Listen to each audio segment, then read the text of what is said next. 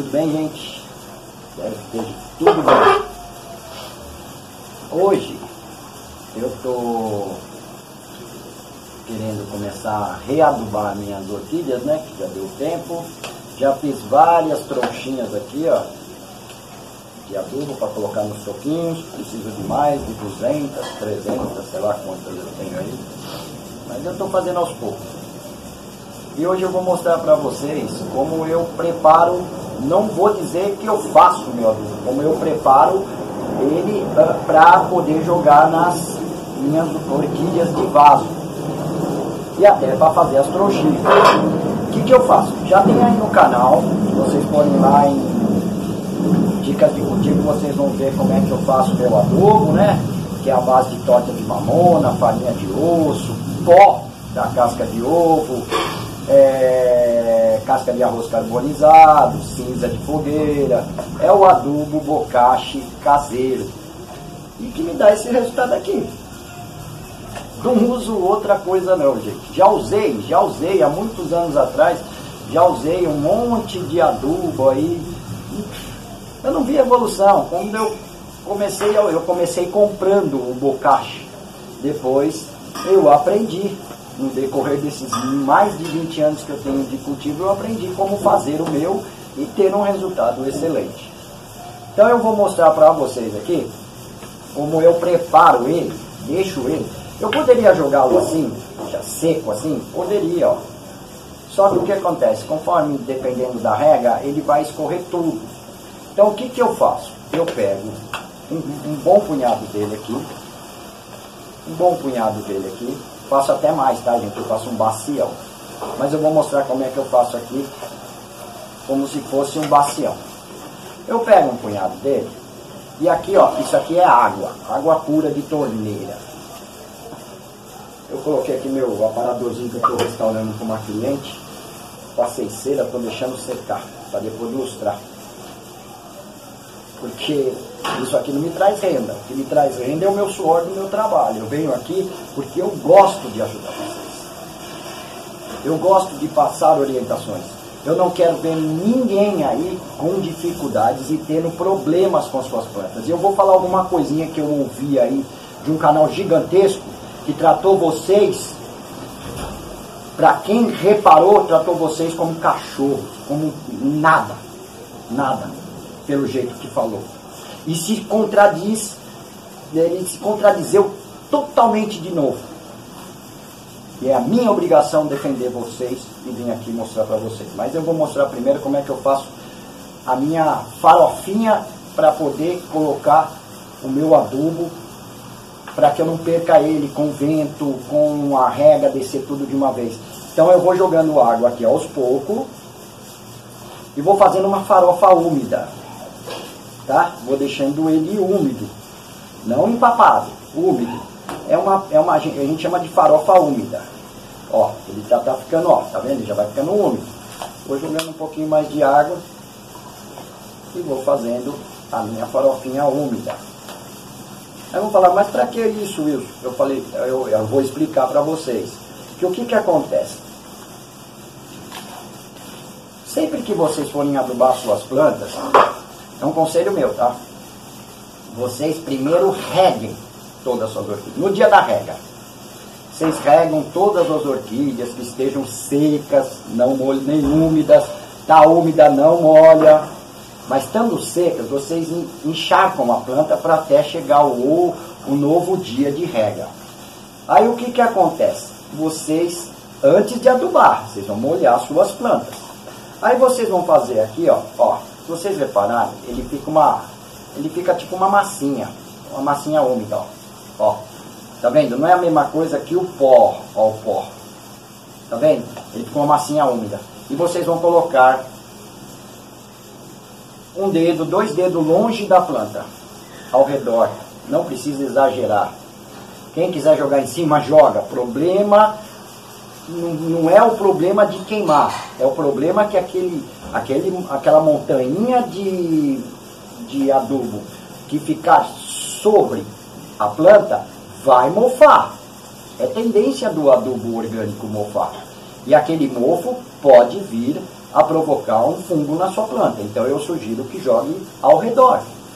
Quando vocês regarem, aquele, próprio, o próprio material do substrato vai puxando ele internamente para dentro, para o meio, para os lados, vai esparramando. Deu para entender? Mas quem gosta de jogar em cima é responsabilidade da pessoa. Eu estou dizendo para não fazer. Mas quem quiser fazer, ah, não, eu vou fazer porque eu faço assim e sempre deu certo. Legal, boa sorte. Tá ok? Mas lembre que o, o todo adubo orgânico, seja este, seja o, o bocache comprado, ou seja o rimitsu, tá? Adubo orgânico. Quando você coloca ele na, na planta, no substrato, ele mofa, ele cria um mofo. Aquilo ali não é problema. Ele está, é, digamos assim, ele está fermentando e criando aquele mofo onde ele vai da, daquele mofo é que ele vai começar a soltar realmente os nutrientes, tá? Não é só colocar e regar e já falar minha planta já está recebendo, não. Às vezes demora alguns dias, às vezes até um mês. Tá ok? Então, o que, que eu estou fazendo aqui? Eu estou fazendo uma farofa úmida. Vou mostrar aí depois que estiver prontinha para vocês terem uma noção do que eu estou tentando mostrar para vocês. É obrigado a fazer isso? Não vocês podem pegar direto o adubo e jogar lá no cantinho da planta, entendeu? Mas eu faço isso a nível de não perder tanto. Por quê? Como eu reguei a minha planta, eu reguei. Vamos dizer, eu reguei esse deifal. Tá tudo molhado, né? Depois que eu fiz a rega no orquidário todo, tá tudo molhado. Eu não vou regar novamente, correto? Então eu vou colocar uma bolinha úmida no cantinho do deifal aqui, ó. Ó. Ó próximo à planta, mas não em cima da planta. Ok? Um dedo a dois longe da planta. Vocês. Ó, eu coloquei aqui, ó. Ó, eu coloquei ele aqui, ó. Ó, ó. Não está em cima da planta, está aqui do lado. Correto? Lembrando que o meu o meu substrato está molhado porque eu efetuei a rega. O meu adubo está úmido, tipo farofa, porque eu molhei ele antes. Eu umedeci, fiz uma farofinha dele. Não vou regar novamente, aquele adubo vai secar e vai, tipo, vamos dizer assim, vai empedrar um pouquinho, vai ficar duro. Quando vocês forem regar novamente, aquela pedrinha vai começar a se dissolver e não vai descer de uma vez como se fosse o pó, a água bate e já leva tudo para baixo, entendeu? Aí ele vai ficar um, um torrãozinho aonde aos poucos ele vai soltando o nutriente dele, ele vai mofar e depois ele vai soltar os nutrientes dele. Se eu bater uma água aqui, pode ser que eu jogue 70% do meu adubo escorrendo por baixo e jogando fora. Se eu fizer isso, eu estou economizando e tendo a durabilidade que o adubo orgânico precisa, que é a cada 3, 4 meses você readuba. Você não precisa, depois que você adubou aqui, é só rega. Rega e acertar a luminosidade. Você não precisa mais se preocupar com adubo. É o que eu faço aqui. Eu não fico me torturando. Tipo, ah, eu tenho que colocar o adubo 20, 20, 20. Depois 9, 45, 15. Tudo besteira. Para mim, só o 20, 20, 20 já é, o, já é o, o certo. Não preciso ficar queimando dinheiro com adubo de floração, adubo de enraizamento, é besteira.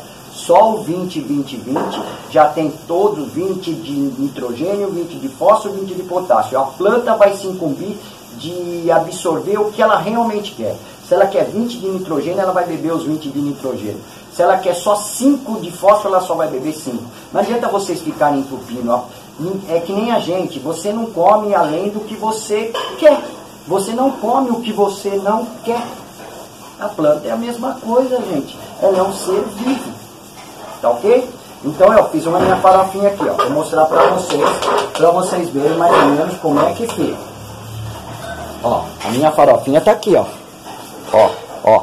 Tá úmida, ó. Se eu pegar, eu faço torrõezinhos, ó. Ó, torrõezinhos, ó. Está úmido só, não está encharcado, está úmido. Já é o suficiente para esse adubo virar uma, uma bolotinha ali, eu amasso ele no cantinho ali, e fica aquela, aquela camadinha de adubo. Conforme seca, ele endurece. Conforme eu rego, ele umedece e vai de, é, depositando o seu nutriente para dentro do substrato e abastecendo a planta. Eu faço isso com as trouxinhas também, ó. Eu tenho aqui um negocinho aqui, ó. Isso aqui parece aqueles forros de vestido. Eu não sei o nome desse treco não, gente. É isso aqui, ó. É isso aqui, ó. É isso aqui, ó. Tem, tem de várias cores, né? Parece um forro de vestido. Tá vendo? Ó. Ele também pode usar a meia de mulher, né? Aí eu corto pequenos quadradinhos assim, ó. Pequeninos assim, ó. Ó, coloco em cima da mesinha. Veio com um torrãozinho úmido desse aqui, ó. Jogo no meio. Tá ok? Isso aqui é para os toquinhos, tá? Quem quiser também fazer para jogar no canto da orquídea, pode. Tem problema do vaso. Joga ali, ó, uma trouxinha ali e acabou. É a mesma coisa que eu já deposito direto, né? E aqui eu pego um araminho meu, molinho, flexível, aperto bem porque conforme molha ele vai soltando. Então eu aperto bem essa trouxinha, dou uma volta aqui, ó, bem apertada, puxo e aperto, puxo e aperto, consegui quebrar até o arame, não tem problema, dou mais uma voltinha aqui e aperto bem, ó, tá apertada a minha trouxinha, tem que apertar bem, fazer tipo uma peteca, sabe? Ó, prontinho, ó, mais uma trouxinha, vai para o meu potinho. Depois eu vou lá, vou pegando meus toquinhos e aos poucos vou substituindo os que já estão lá há mais de quatro meses. Então é assim que eu faço. Depois eu vou fazer um bacião dessa paçoca aqui. Aí eu vou catar, hoje é uma sexta-feira, eu estou adiantando meus vídeos, meus vídeos estão, esse vídeo ele vai ser postado quase que daqui a uns 20 dias, porque eu estou antecipando meus vídeos, estou adiantando meus vídeos, fazendo vários vídeos e deixando programado para que eu fique fora em abril. Eu vou ir um serviço fora, vou ter que ficar uns 15, 20 dias fora, necessidade. Então eu vou já deixando para não deixar vocês desabastecidos, porque ao contrário do que eu ouvi, eu me preocupo sim com as condições e os problemas que vocês estão tendo com suas orquídeas podem contar comigo para o que precisar em matéria de orquidofilia. Façam a pergunta. Se confiam, eu vou tentar dar a melhor resposta. Tá? Não vou fazer como um canal que arrasta quase meio milhão de pessoas virou e falou assim: Eu não estou aqui para resolver o problema da planta de ninguém. Então ele está ali para quê? Se ele se propôs a ensinar orquidofilia, a orientar as pessoas, as pessoas não podem ter dúvidas, as pessoas não podem ter problemas. Outra coisa, canela em pó não é adubo. Desafio, desafio. Alguém provar que canela em pó é adubo para orquídea? Não vem com essa de pesquisinha no Google para dizer que isso aqui é um condimento e condimento é adubo. Se você ficar aplicando canela direto na raiz das suas orquídeas, no substrato das suas orquídeas, você vai queimar as raízes. Ela é secante, ela é cicatrizante, ela também trabalha como bactericida e fungicida, mas sem efeito nos fungos e bactérias que tem na orquídea, porque são muito fortes. Isso aqui é muito fraco para ser usado como bactericida e fungicida. Ele pode ser um preventivo. Você colocar um pouquinho, não fazer que nem fizeram lá, quase meio quilo em cima de uma planta Aí manda fazer pesquisinha no Google, então eu vou falar para vocês a pesquisa que vocês devem fazer no Google. Pesquisem assim: canela em pó queima ou não raízes de orquídeas. Vai estar escrito lá: a canela tem grandes nutrientes, mas pode vir a provocar grandes prejuízos nas suas plantas. Queimar raízes porque ela é usada, gente, quando a gente faz um corte numa planta, quando você fez um machucadinho numa planta, você joga a canela ali para que ela seque aquela umidade que vai sair de dentro da planta e não deixe que nada entre, ela fecha a porta. Assim como você pode usar a pasta de dente, como você pode usar o esmalte de unha, o látex de pintar a parede, tudo isso serve como vedação e, e cicatrizante. Mas isto não é adubo para orquídeas. O rapazinho lá dá uma vontade de falar que é burro, mas é burro. E trata pelo jeito que tratou. Sabe o que, que eu, eu ouvi esse cidadãozinho falar? Aquele que me aborrecer nos comentários eu deleto e bloqueio. Então quer dizer, se você tiver uma dúvida e me fizer uma pergunta e eu não souber responder ou contradizer o que eu falei, eu vou te bloquear, eu vou te deletar. É um desrespeito para quem é, quem é, é, é seguidor daquele canal, né? Não, por isso, aqui é diferente, gente. Aqui a conversa é mais embaixo precisou, está tendo dúvida, deixa no comentário. Eu vou responder. E se eu não conseguir fazer a resposta no escrito, eu venho e faço um vídeo e mostro para vocês. Sabe por que a pessoa fala daquele jeito? Porque o interesse dela é só financeiro. Querem que contratem a assessoria dele. Sabe nada. Vai assessorar vocês no quê? Mandar vocês colocar planta com fungo no, no alto do orquidário de vocês? falar que não usa adubo e se contradiz no próprio vídeo, mostrando um tubo de ciacrop quase no fim, de 5 litros, um saco de 3, de 2 litros, de 2 quilos de Rutex, atrás dele, uns 5 a 6 é, potes de adubo e diz que não usa adubo? Realmente ele não usa adubo, porque se ele só põe ciacrop e Rutex, ele dá hormônio para a planta dele. Porque esses dois são enraizadores potentes, mas quando usado em demasia, se tornam hormônios. Faz você se enganar com o vigor da sua planta. Então eu estou sendo muito sincero aqui. Tá ok? Eu desafio a provar para mim que isso aqui é adubo. E não usem como falou lá, pelo amor de Deus, gente. Usem para cicatrizar um machucadinho na sua planta, um corte. Mas não fiquem por nem que seja depois de dois, três meses, se ficar jogando aquela tonelada. Porque é muito fácil mostrar e depois que acabar o vídeo ir lá lavar a orquídea.